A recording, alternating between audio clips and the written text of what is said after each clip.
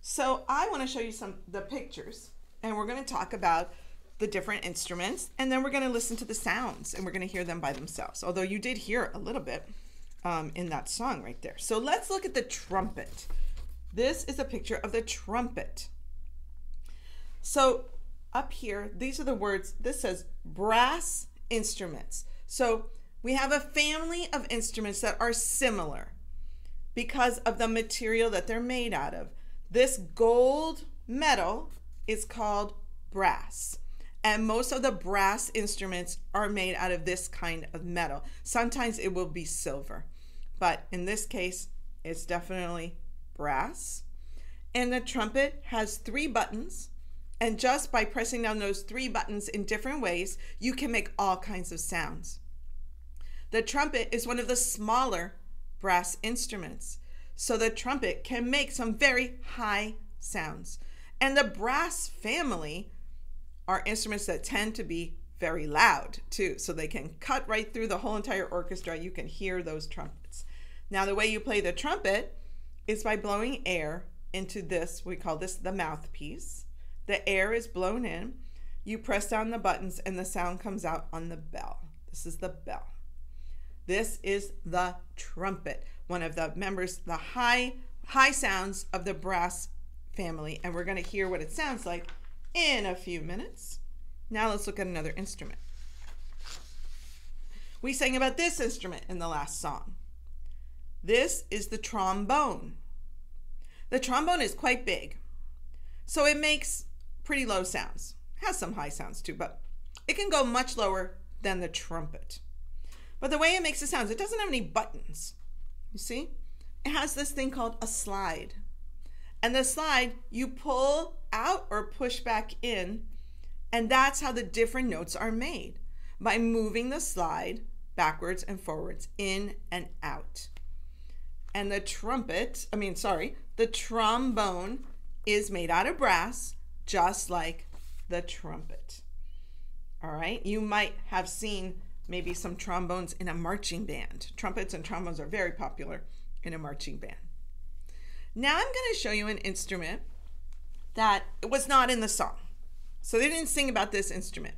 But this instrument is an important member of the brass family. It belongs to the same family of instruments. And you're going to see it's golden color, so it is made out of brass.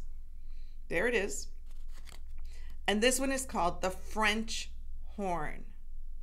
Now, this one you might not see in a marching band because you have to sit down to play this instrument most of the time. You sit down, you put it in your lap. It has three buttons. They're over here. I don't know if you can see them. They're there, right there. Just like the the uh, trumpet. So that's how you make the different notes. All right, and it has a mouthpiece, just like the other two instruments, because you in all of these instruments we're blowing air to make the sound, and then the sound comes up in the bell, and it has a very beautiful sound. It's kind of a mellow, beautiful sound. And it has high notes like the trumpet, but not as high. And it has some lower notes like the trombone, but not as low. So it's kind of in the middle between the trumpet and the trombone. French horn, very popular in an orchestra. And now here's the last group of pictures I'm going to show you. I'm showing you two different kinds of instruments, but I'm going to call them both the tuba right now. So the reason why I'm showing you two different ones is because if if you were in a marching band, you would probably play the tuba like this. Sometimes I call this the sousaphone. Because you kind of this with the round thing here, you put it on your body and you can hold it and march with it. This is the kind of tuba you might see in an orchestra because you're sitting down to play it.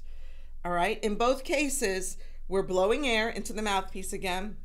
The sound is coming out the bell and there are three buttons that you would press to make the different sounds. Yes. And the tuba makes the lowest sounds of the brass family and some of the lowest sounds of the entire orchestra. Very low sounds. So let's go back now. And I'm going to start with the trumpet. And let's hear what it sounds like. Let's hear the voice of the trumpet. Here we go.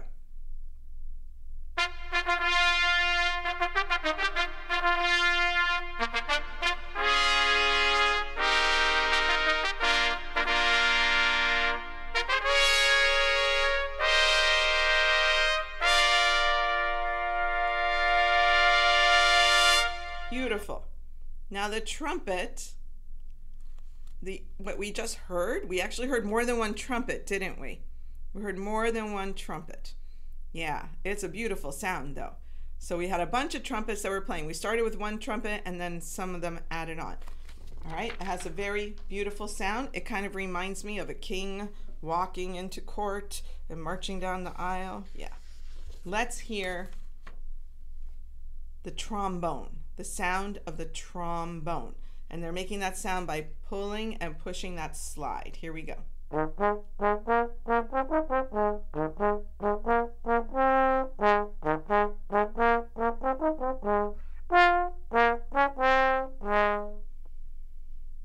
That was funny. It played a little song. Do you know what song that was? It was Pop Goes the Weasel. Yeah. All right, but that was the sound of the trumpet, uh, trombone. Why do I keep saying that? The trombone. And the trombone, you notice, had a lower sound than the trumpets did, a lower sound. Now we're going to hear a little bit of the French horn.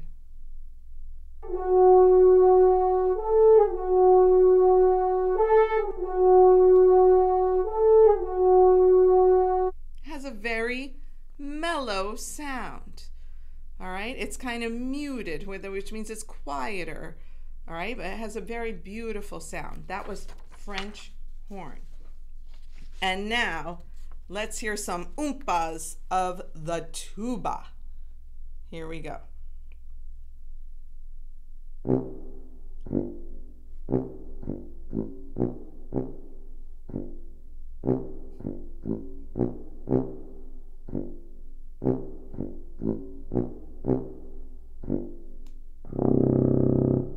Oh my, that was a very low sound.